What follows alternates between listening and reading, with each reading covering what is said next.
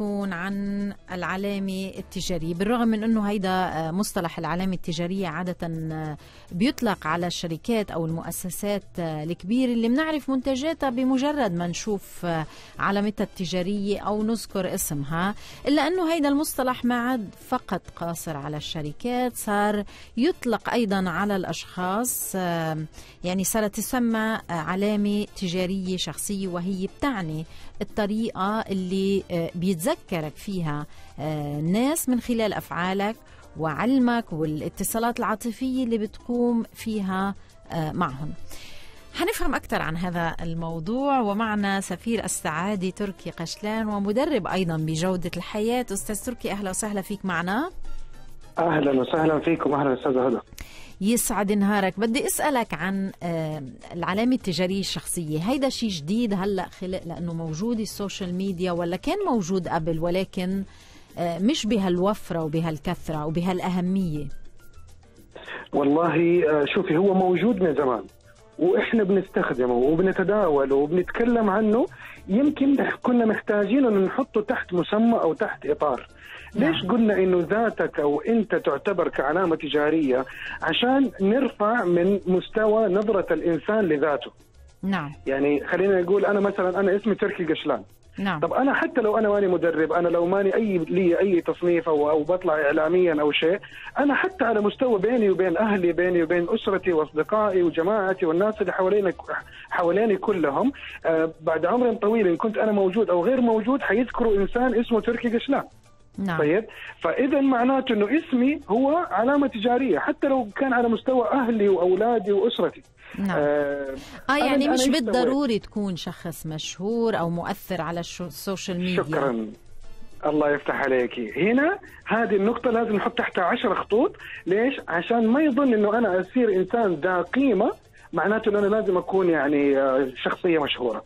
نعم. على سبيل المثال وببساطة جدا اليوم أنا لو كنت موظف في جهة ما خليني أخذ مثال على البنوك نعم. أنا اليوم ممكن أكون موظف في بنك ما يسمعوا عني بنك آخر فمعناته ممكن يستقطبوني ويدفعوا لي مثلا مبلغ إضافي نعم حضرتك مثلا مذيعة أو أي أحد في الإعلام ممكن يستقطبوا قناة ثانية ويدفع مبلغ إضافي نعم. إذا أنا أو أنت أو الشخص هذا هو له حتى قيمة سوقية نعم القيمة السوقية هذه بناء على إيش؟ حنبدا نتكلم هنا بناء على إيش وكيف ممكن أنا أشتغل على نفسي وأطور نفسي. بالضبط، الشخص العادي اليوم اللي عم يسمعك بيقول أنا لاني معروف، لاني مشهور، كيف فيني أبني علامة تجارية وأقدر أوصل فيها إلى من يهمه الأمر؟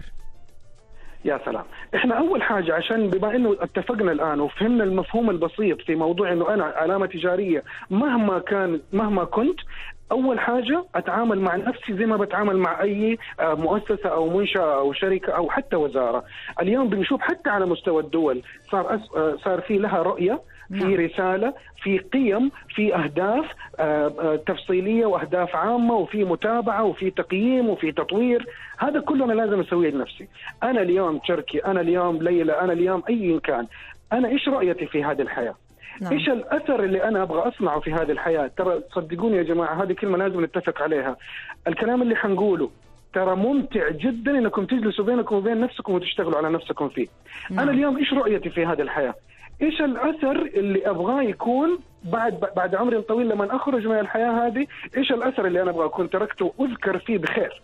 إيش القيم أو الأخلاقيات إن صح التعبير بمفهوم آخر الأخلاقيات اللي أنا لن أتنازل عنها؟ اليوم مثلا واحد يقول لك والله أنا من قيمي الصدق عشان نعطي مثال نوضح أنا من القيم اللي أتحلى بها الصدق. نعم. لما تكتبها فمعناته أنت ممكن تواجهك تحديات في الحياة أو مواقف تضطر إنك تكذب. نعم. لا أنا حرجع لقيمي. لا هذه قيم ثابتة أنا لن أتخلى عنها. الخيانة ال ال ال الأشياء هذه كلها. أنت لازم تتعرف على نفسك.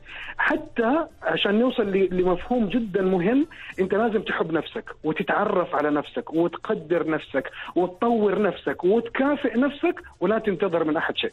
نعم. ممتاز. تمام؟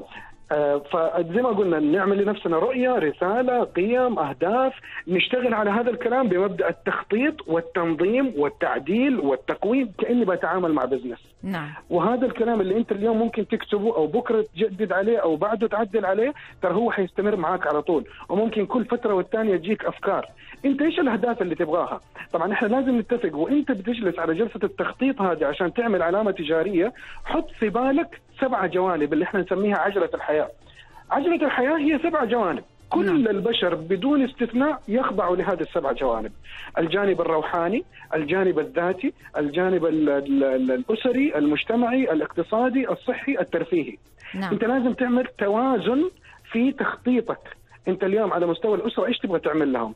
انت إيش المهارات اللي موجودة عندك على الصعيد الاقتصادي؟ انت لازم تتعرف على نفسك نعم. وتعرف مش بس كده. آه، طبعا في نقطة كمان حلوة ممكن يا ريت يعني ناخذها في عين الاعتبار. أنا دائما أنصح إنه يكون دائما معك حاجة اسمها ترمومتر وميزان. إيش اللي اقصد بالترمومتر والميزان؟ نعم. الترمومتر عشان أنا أقيم نفسي في كل مهارة وفي كل علاقة حتى العلاقات تخضع للترمومتر والميزان، من صفر إلى عشرة كم درجة قوتها؟ أو كم درجة أهميتها؟ أو كم درجة خطورتها؟ زائدا إني أحط الإيجابيات والسلبيات لكل شيء أنا بكتبه، أنا اليوم حتى واحد من أصدقائي ممكن أو صديقاتي لو كنا بنتكلم أو ايا كان من الناس اللي قاعدين يشتغلوا أو ممكن ياخذوا بهذه الفكرة، أنا لازم أحط كل إنسان في مكانه الصحيح، ما أجي أتعامل مع إنسان بدون وعي أو بدون يعني معرفة عميقة آه، نعم. أعطي له مثلا أكبر من حجمه وبعدين عاتب نفسي ولا أورط. أنت لما تحط كل إنسان بالميزان والترمومتر أنت حتعطي كل ذي حق حقه. نعم. هيدا هو المعيار اللي بيقيم فيه الشخص علامته التجارية؟ طبعا هو يعتبر من المعايير. إحنا لا نعم. إحنا الآن العلامة التجارية هي ال final هي النهائي. لكن تحتها في عملية تخطيط واسع. okay. يعني زي ما قلنا اليوم أنا موظف عندي بعض المهارات. أنا لازم أعرف إيش المهارة أو إيش النقطة اللي أبغى أكون فيها بمفهوم العالم. إنه نعم. أنا عالم في هذا الموضوع. أي أحد يكلمني فيه أنا يعني اعطي له وأبحر معه. وإيش هي المجالات اللي أبغى أكون فيها؟ عندي ثقافة عنها.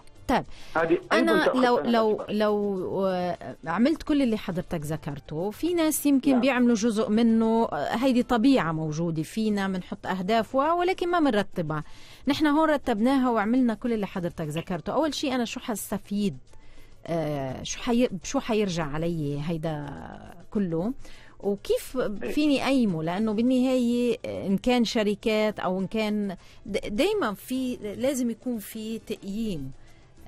صحيح. شو شو المعيار؟ وتعديل مزبوط. يا سلام. طبعا إذا أنا ما اعرف عفوا. إذا أنا ما أعرف أسوي هذه الخريطة وهذه هذه التفاصيل مو غلط.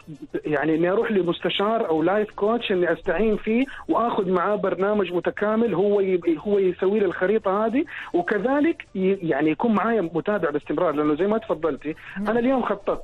بس جيت لقيت نفسي بعد فترة إنه في عندي أخطاء أو في عندي أشياء ما أعطيتها حقها بالشكل الصحيح مو غلط اني اعدل يعني نعم. هذا جانب. الجانب الثاني إيش إيش حستفيد؟ حستفيد إنه أنا أحس لحياتي لها معنى وطعم. نعم. أنا عارف أنا فين رايح. واحدة من أبرز المشكلات اللي يعانوا منها البشر يعني بنسبة كبيرة جدا تتجاوز ال 70% القلق على المستقبل. نعم. طب أنا عشان أحد من هذا القلق أنا محتاج ان يكون عندي خطة للمستقبل. نعم. أنا اليوم بحط راسي على المخدة عشان أنام وأرتاح بس ألاقي نفسي إنه أنا بنام وبدون راحة. نعم ليش؟ لأنه أنا ماني عارف بكرة إيش عندي، ما عندي ترتيب لحياتي، ما عندي ترتيب لجوانب الاقتصادية، ال- المهارية، ال- ال- النفسية، صحيا، اليوم كم من الناس عندها خطة عشان تحافظ على صحتها يقول لك والله ما أدري أنا أحس نفسي لما أوصل ال 40 أو ال 50 حكون مريض. نعم. انت أنت ليش تقول الكلمة هذه؟ طب أنا حاقول لك لو أنت كان عندك خطة وعامل توازن في عجلة حياتك وعامل جودة ح... جودة حياه لك صدقني حتحس لطعم لحياتك لها طعم. هذا واحد. اثنين صدقني راح يرجع عليك حتى بأثر مالي. نعم. ليش؟ لأنك أكيد إنك أنت حتكون مميز عن الآخرين، والتميز ترى على مستوى البشر كذلك ترى نسبة المميزين أو الناجحين يمكن لا تتجاوز السبعة أو 8%، نعم. فأنت بهذه الطريقة راح تتميز وراح تصعد. نعم.